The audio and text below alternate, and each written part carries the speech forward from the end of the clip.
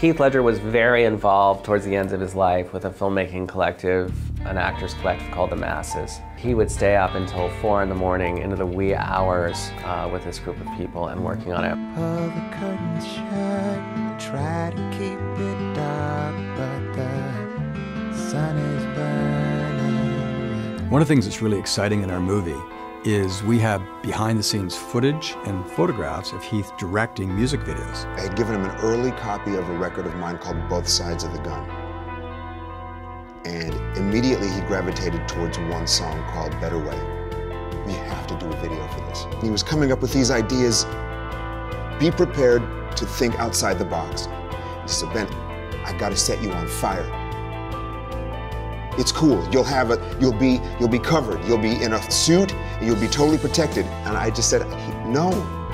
Heath remains really one of the most magnetic and compelling stars of his generation.